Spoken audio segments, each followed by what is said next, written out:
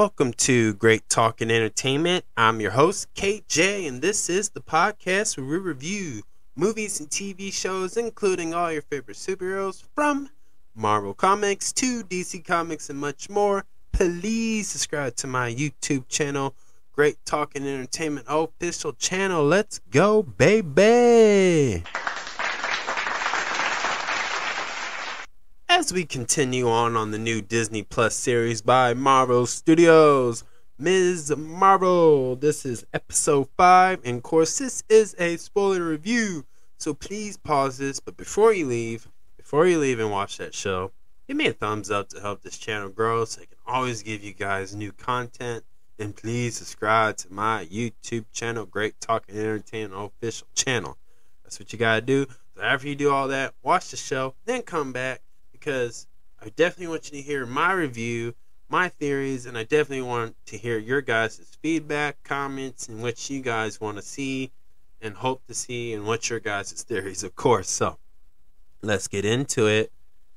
In episode five, gave us a flashback. Uh, blah, sorry, a flashback episode of Kamala, aka Miss Marvel's grandmother, Aisha, and How they met, which is a, a, a typical love story, while explaining the time travel works or another way. We also learn that Aisha is from Noor, which many theories in my mind came up where I believe what she could be, uh, and we're definitely going to uh, get into that. So we'll see if they become true or not. But as usual, Marvel always has a plan, and I'm just trying to figure out Marvel's next step as well. so, in this episode, this whole it took a historic. Uh, Mar- this episode took a historic and added a Marvel story with it. So there's some truth to it, but then there's some fictional. So, uh, not to confuse anybody, and they said that before the episode starts. So, hopefully nobody was offended, and I hope I'm not offended anybody I'm just acknowledging the fact they did take a historical moment about the British, but added a Marvel story to it. So I know that it's not all real. I know there's some fictional stuff. So and also they didn't really go deep into that historical event, but they kept it on the Marvel story. So I'll only focus on the Marvel story of this episode. So don't worry, everybody. Uh, what I like about this episode, besides all that, is just the um, I like the idea of them going back of showing the history of the Khan's family. I like the idea of that Kamala is uh, ancestors once wielded that bangle, and it gives me the idea of that. There's there was an Avengers before the Avengers of the Avengers, of course. So I just wonder how far they're willing to push that. And I think that's really cool if there is. And they're they're teasing a bigger thing that we have not noticed since phase 1. That's what I like about this episode. It just reminds me of that. And I definitely cannot wait to see what else the future holds for Marvel. Uh, let's talk about Aisha. Aisha. So, and they start off. They showed her that she's fighting off the British, uh, in in in Karachi, or I forgot where they were from. Sorry, but uh, in Pakistan. Uh, I like how she falls in love with Hassan. He's a guy who is somebody who stands up and who's against the British and telling everybody you know, we don't need them. We got to boot them out and get them out. And I think that she fell in love with his toughness. He's a guy who has a a limp leg or injured leg, and he uses a cane or a stick. And I like the idea of how they met. Of course, they sped it up where they're eating together, and then the next morning she's back in the rose garden and she's pregnant. So they did a time jump without even telling us, and they didn't even say how long. So I know it wasn't a week, but that's okay. Um, so she was pregnant with uh, Nani, uh, Sana, and we learned that she's against uh, Naj- Najima, and obviously Najima uh, stabs her Aisha at the at the at the train, and what I what I think about that is just the fact that this was a loop time because we're going to talk about the time travel in a bit. This explains like this Bangle has been in uh, Ms. Marvel's family for a minute, and I would like to believe this is one of the theories I want to share. Is I think Aisha is like part of the Eternals. I think that they weren't supposed to be in this world and they're not trying to uh, belong in this world. Now, Aisha, just like um, some of the characters from the movie Eternals, they stayed on Earth and they were living regular lives. And so was Aisha, but uh, Najma, she was kind of like, no, I don't want to be here. I don't care how this world works. I want to go back to Noor and she's willing to destroy everything on earth to get back to Noor. And I I think that's what the unique about this is is they're not they know that they can't dwell in the events. So this is why you didn't see Aisha show up in the Avengers. This is why they didn't mess with historical events it just reminds me of the Eternal. So this this show is definitely connected to that, and of course the Avengers and, and other Marvel shows and movies. But this just shows how they they weren't supposed to be there, and even Aisha kind of messed up the plan by just falling in love, giving birth to a child to a human. I don't think she's fully human because she's not from this dimension.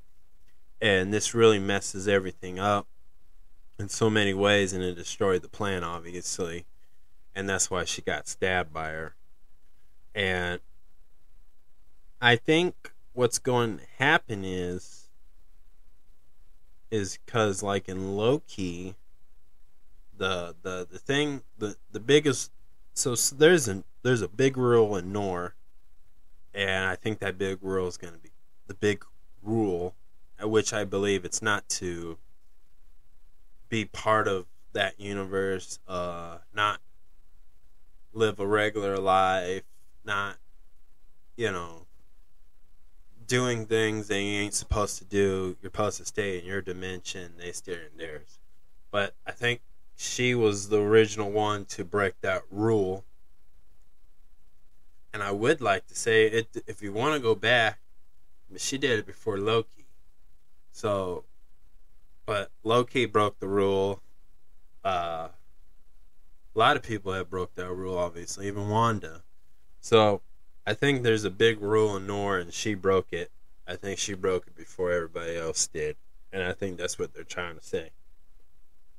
Uh, the veil. So after you know, uh, Kamala, who goes back in time by accident, finds her grandma as a child and brings her back to her dad, which would be Kamala's great great grandfather. And uh, you realize that oh, this was kind of like she was the one through the whole story with the stars and stuff.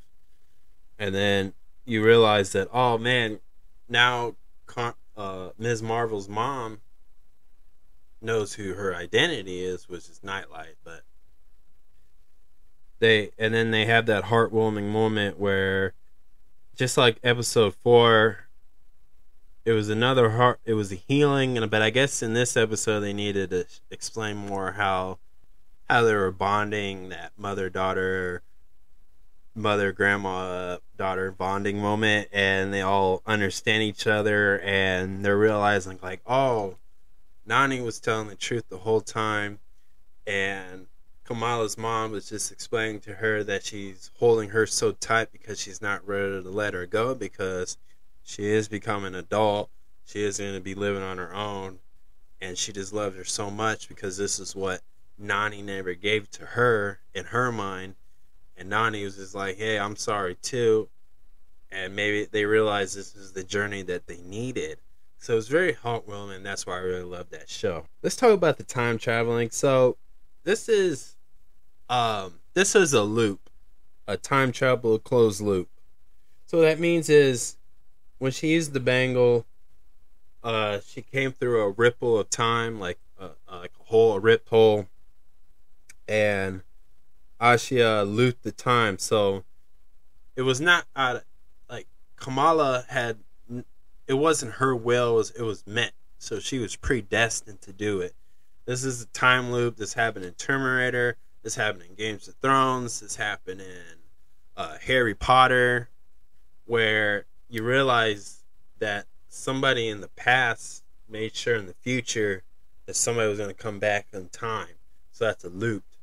So she understands. So Kamala was always the one in the story, and they never knew about it. This kind of like it happened in Harry Potter. This happened in other shows, of course, like Tenet, whatever. So it's a typical movie, or well, not movie, but TV show that did the easy. This is a more easy way and somewhat confusing of a time travel loop where the loop until the loop the loop won't close until the actual event happened or the person going back in time. And so it wasn't in Ms. Marvel's will, but they did this in the Avengers Endgame. So it wasn't I know some people are like, Wow, I didn't see this. This is so unique. It's been done before and I'm not downplaying it. But this was a safe way to do it, and I'm glad they went this way, honestly. Personally, I'm glad they went this route. So I'm okay with that. Uh, so with the time traveling rule, I I think what's gonna happen is when they do this, the the TVA is not gonna come arrest her because she wasn't seen by her great grandfather, and her grandma was a child, so she wouldn't remember it. So it didn't. If you remember how they explain in the Avengers Endgame and Loki with the lines and how the roots spread, so Kamala didn't do it because it's time travel looped, so it was already predetermined. It was supposed to happen, so there was going to be a time travel break where the TVA had to break in because it's so it's still the straight line, it's still growing, but the roots of it loop like pockets. So like that's when Loki's uh, Sylvie stabbed Kang the Conqueror that broke the timeline. Uh, look at uh, an Avengers Endgame where uh, Bruce Banner was learning about that. So if you take the, the time the when they were gonna take the stones back in time to fix what happened that Thanos did, if they would have messed up, it would have broke it would have broke the timeline, and things would have been much worse or much better.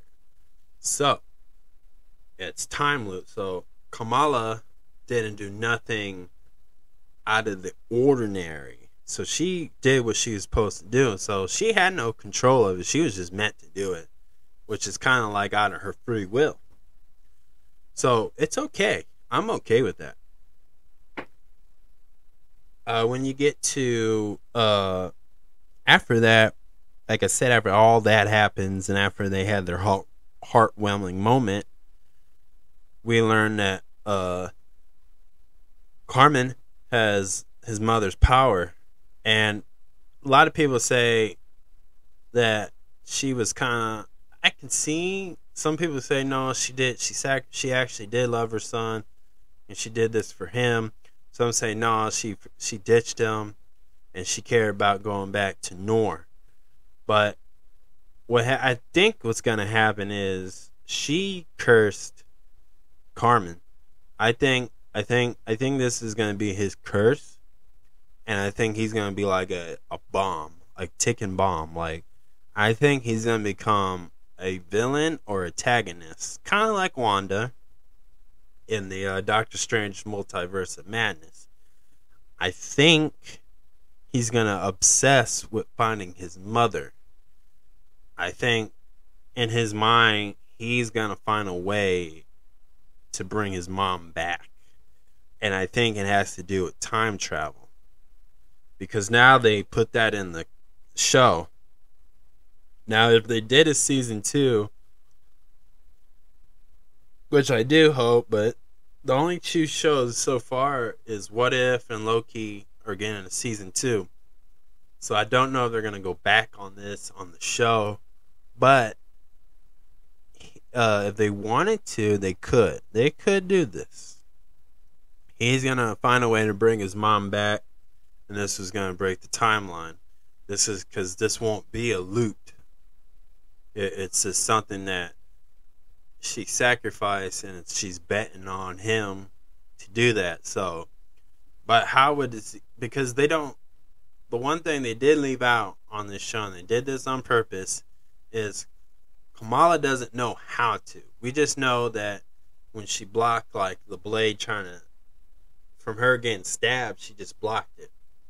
And it boom, sent her back. So she does not know how to use her abilities yet. And so they're leaving that open for a reason. And I personally think this show deserves a season two so far. But they could go back on season two go back to Pakistan, have this moment, explain where the red daggers are. I mean, the, I mean when they left, the chemo was talking about he had like some warrants that the U.S. government wants to get, which in comic books he joins the uh, the Thunderbolt team, but that's here or there where they do it. I don't know. I think he'd be better as I think the MCU is going to go with the Young Avengers with him because they're not really going comic book accurate, but they that's typical. Who cares, right? We we all have to accept that, but I think that's what could happen. There's a lot of ways it can go down, but I think on the next episode, uh, episode six is the final one. I think there's going to be some big, big moments going on. So I cannot wait for that. I but like I said, this time traveling thing was just a loop, but I think if they were gonna do break the time traveling rule, uh, Kamran is gonna be the one to be the one to break it because I think he's dealing with grief. He's he's like Wanda right now. He has a lot of grief. He's sad, and he has all this ability. And he doesn't know how to use it, and now he definitely does not feel normal. But I like how him and Bruno have bonded, and now they're going back to Jersey. So we're going to see what happens next on that. But other than that, this episode, I'm giving this episode 1 out of 10. I'm giving this a 10 because I think the acting was amazing. I think I like the idea that it was kind of funny. Like, uh, Ms. Marvel's mom didn't realize like she can track her daughter on her phone, and that was funny. Uh, typical typical, but I like that. Uh, it's a great show, and I, I think it's inspiring, and I think, uh, like I said, I think little girls would want to be her a little bit, like Ms. Marvel. I I think it's amazing. Um, now I hope in this next episode we see like uh Brie Larson. I think we should see Captain Marvel. I think we got to see an Avenger show up. Like, I think just because how this show's going is she is a fan. Miss Marvel is a fan of the Avengers, and she's working hard to meet one of them because now she's becoming the superhero. Should it be Spider Man? Yeah, but I know it's Sony. It's a Sony thing. I get it. But other than that, it was great. I love this show. So that's my review. So please subscribe to my YouTube channel, Great Talk and Entertainment official channel. Subscribe, hit that notification so you can always be updated with all my latest content. So thank you and peace